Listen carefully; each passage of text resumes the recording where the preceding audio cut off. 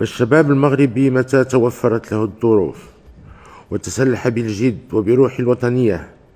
دائما ما يبهر العالم بإنجازات كبيرة وغير مسبوقة كتلك التي حققها المنتخب الوطني في كأس العالم.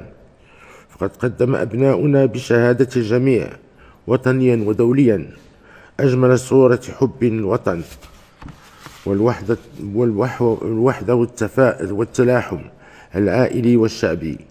وأثاروا مشاعر الفخر والاعتزاز لدينا ولدى كل مكونات الشعب المغربي.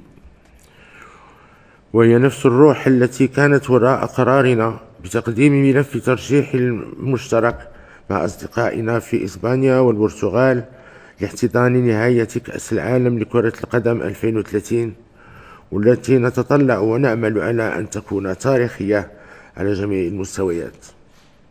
إنه ترشيح غير مسبوق يجمع بين قارتين وحضارتين إفريقيا وأوروبا ويوحد ضفتي البحر الأبيض المتوسط ويحمل طموحات وتطلعات شعب المنطقة شعوب المنطقة للمزيد من التعاون والتواصل والتفاهم.